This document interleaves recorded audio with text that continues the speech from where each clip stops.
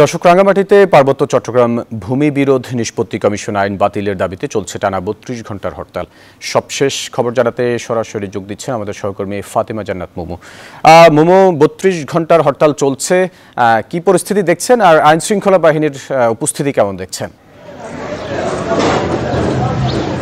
ধন্যবাদ আপনাকে, আমি আছি রাঙামাটির বনরূপা এলাকায়। আপনি যেমনটি বলছিলেন, পার্বত্য চট্টগ্রাম ভূমি বিরোধ নিষ্পত্তি কমিশনার আইন বাতিল এবং সাত দফা দাবিতে পার্বত্য চট্টগ্রাম নাগরিক পরিষদের বত্রিশ ঘণ্টার হরতাল আজ সকাল ছয়টা থেকে শুরু হয়েছে। এই হরতাল চলবে আগামীকাল দুপুর দুটো পর্যন্ত। আপনি ক্যামেরা চোখে দেখতে পাচ্ছেন, রাঙামাটিতে হরতালের কারণে বিভিন্ন দোকানপাট, ব্যবসায়ী প্রতিষ্ঠান কিন্তু বন্ধ রয়েছে। সাধারণ মানুষদেরকে আমরা দেখেছি, পায়ে হেঁটে তাদের গন্তব্যস্থলে যেতে, যেহেতু সরকারি অফিস আদালত খোলা রয়েছে এবং সবচেয়ে বেশি বিপাকে পড়েছে সাধারণ শিক্ষার্থীরা, যেহেতু আজকে রাঙামাটি সরকারি কলেজে ডিগ্রি পড়ুয়া শিক্ষার্থীদের পরীক্ষা কার্যক্রম চলছে। যদিও রাঙামাটি সরকারি কলেজ ঘিরে প্রশাসনের পক্ষ থেকে একশো চৌচল্লিশ দ্বারা বলবত রয়েছে সুষ্ঠুভাবে পরীক্ষা অনুষ্ঠান হওয়ার জন্য। আমরা সকালে দেখেছি পিকেটাররা বিভিন্ন জায়গায় তারা কিন্তু বিক্ষোভ মিছিল করেছে। শহরের বিভিন্ন গুরুত্বপূর্ণ স্থানে কিন্তু আমরা অতিরিক্ত পুলিশও মোতায়েন দেখতে পেয়েছি। এখনও পর্যন্ত কোথাও কোনো রকম অপ্রীতিকর ঘটনার খবর আমরা পাইনি।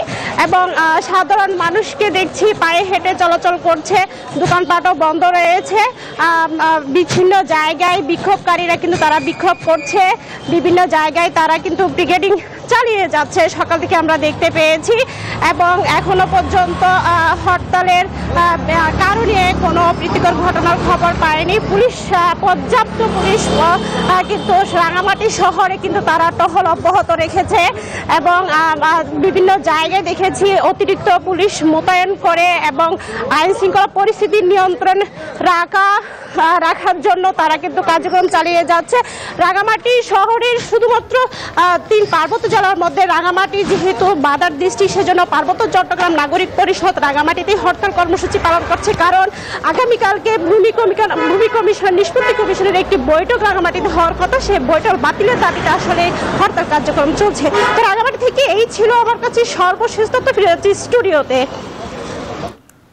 মোমো, আপনাকে ধন্যবাদ।